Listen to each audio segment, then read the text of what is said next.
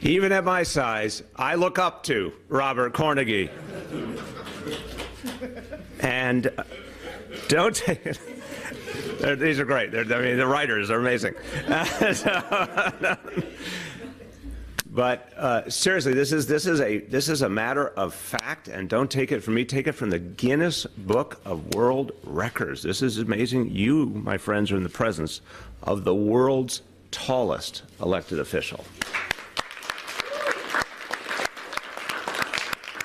Robert, let's have a moment to celebrate you with the official.